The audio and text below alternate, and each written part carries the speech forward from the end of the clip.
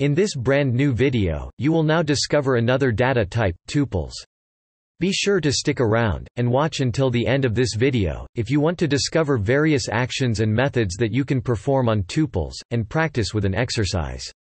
Please, do not forget to smash that like button, for the YouTube algorithm, since it does really help supporting us, and providing new free content, once a week. Are you interested to be part of this community? All the links are in the description below.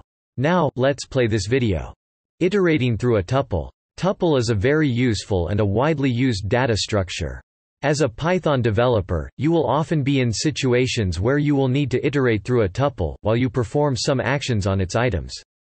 Fortunately, the most common way to iterate through a tuple, is with a for loop. For instance, for item in my tuple, print item, will iterate throughout all the items of my tuple, and print out each item, red, green and blue. This works well if you only need to read the items of a tuple. But, if you want to update them, you need the indexes. A common way to do that, is to use the enumerate function.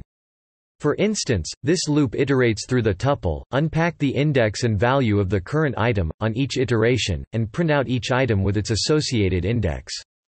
If you do not know how to use the range function nor how the enumerate function works, please check out the suggested video about Python for loops.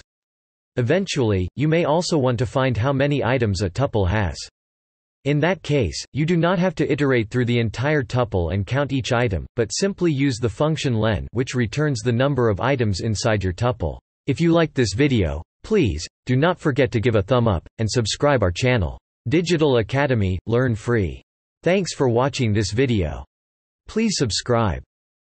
Hit the notification bell. Like, comment, and share.